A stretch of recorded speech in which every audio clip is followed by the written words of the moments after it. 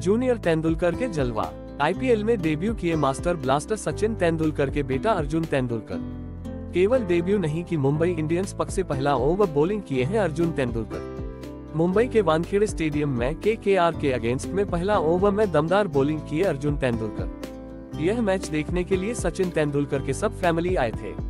इसके अंदर एक इम्पोर्टेंट बात है कि आईपीएल इतिहास में बाप बेटा खिले हुए। एक ही पहला जोड़ी है। कारण पहला आईपीएल में बाप और बाप के बाद बेटा क्रिकेट के मैदान पर उतरे नहीं। लेकिन सचिन तेंदुलकर पहले क्रिकेट खेल रहे थे। अब आईपीएल में डेब्यू किए उनके बेटा अर्जुन तेंदुलकर। मुंबई इंडियंस 2021 में पहली बार 20 लाख में खरीदा था अर्जुन तेंदुलकर।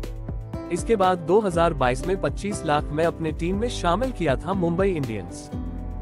लगातार दो सीज़न बैठने के बाद, ये साल में उनको प्लेइंग 11 में शामिल किया मुंबई इंडियंस। सचिन तेंदुलकर के साथ ट्रेनिंग सेशन में नज़र आए थे अर्जुन तेंदुलकर।